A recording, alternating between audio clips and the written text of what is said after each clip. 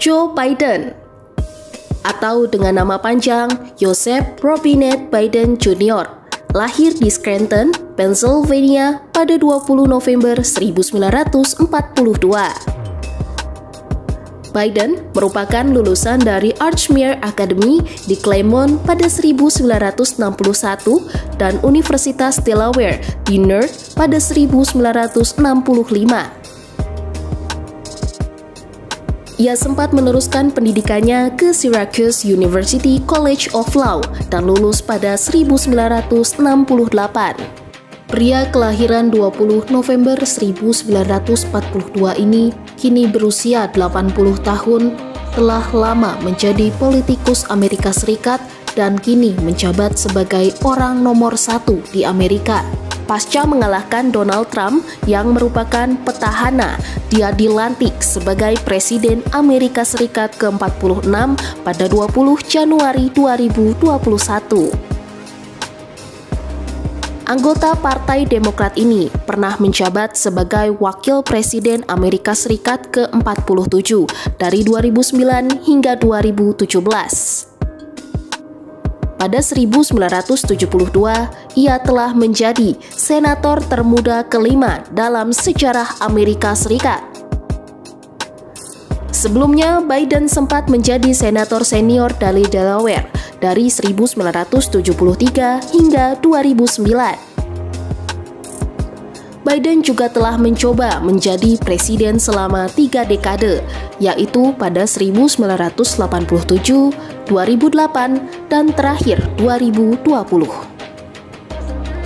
Akhirnya, pada tahun 2020, Joe Biden berhasil memenangkan kursi Presiden Amerika Serikat kala itu dengan perolehan suara sebanyak 290 suara elektoral. Ia mencatatkan namanya menjadi Presiden Amerika tertua yang berusia 78 tahun saat dilantik menjadi presiden. Namun karir politiknya dimulai ketika Richard Nixon berada di Gedung Putih.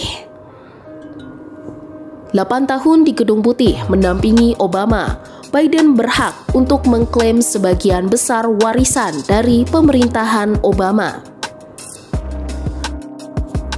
Warisan ini di antaranya pengesahan Undang-Undang Perawatan Terjangkau serta paket stimulus dan reformasi yang diberlakukan dalam menanggapi krisis keuangan. Hubungannya dengan Obama yang Biden sebut-sebut sebagai saudara laki-lakinya juga berkontribusi untuk suara dukungan dari para pemilih Afrika Amerika. Sebagai orang dalam Washington, Biden memiliki presidensial luar negeri yang kuat dan ia juga turut membantu Obama dalam menyeimbangkan kurangnya pengalaman eksekutif yang komparatif. Kelompok pemilih kerah biru dan kulit putih telah terbukti sebagai kelompok yang sulit untuk dimenangkan Obama.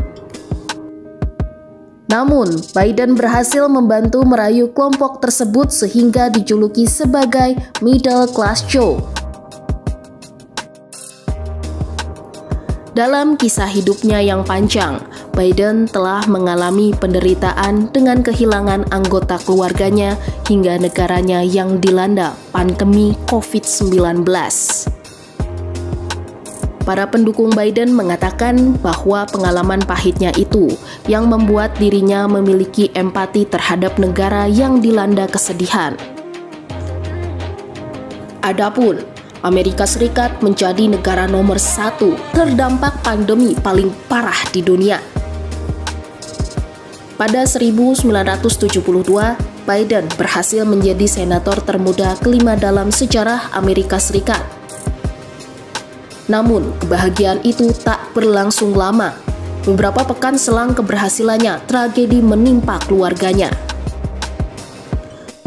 Biden kehilangan istrinya Neilia dan putrinya yang berusia satu tahun Naomi dalam kecelakaan mobil yang juga menyebabkan kedua putranya Hunter dan Beau yang saat itu dalam keadaan terluka parah.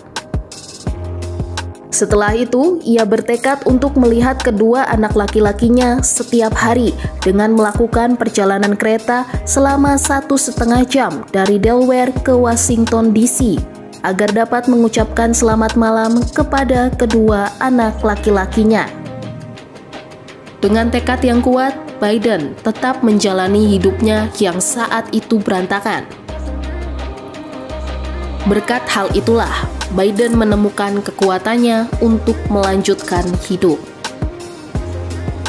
Dia juga menderita aneurisma pada 1988 dan bertahan dalam satu operasi yang berjalan 9 jam untuk menyelamatkan hidupnya.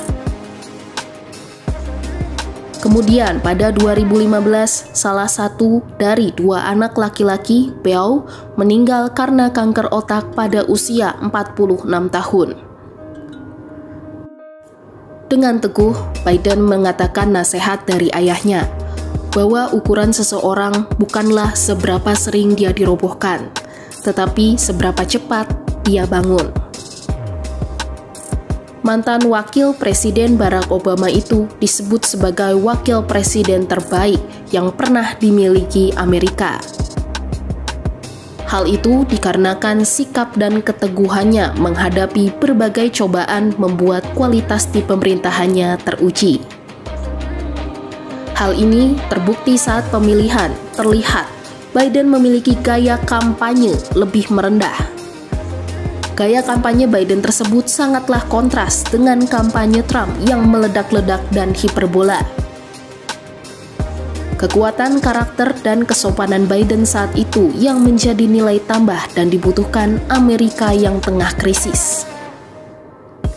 Itu juga yang membantunya menang dari pesaingnya capres petahana Amerika Serikat, Donald Trump.